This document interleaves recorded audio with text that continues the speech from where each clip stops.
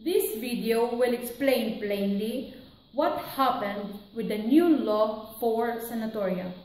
What has changed for all the people who are working in Italy without permit. With the new law, the government has decided a sanatoria for all the immigrant workers in agriculture, fishing, housekeepers, and caregivers. Irregular workers will have to declare that they are here in Italy before March 8, 2020. Worker will need to have a job in order to file a job contract with the employer.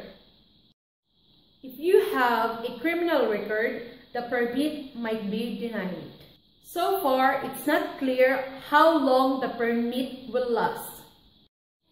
The government says that goes from a minimum of 3 months up to 6 months and it will be renewable. The request must be done starting from 1st of June to 15th of July. The request of the sanatoria must be done either by employer or the immigrant worker.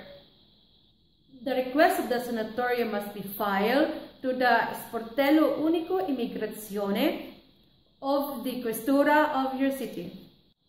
The employer to file the request must pay 400 euro. The worker must pay 160 euro for permesso di soggiorno.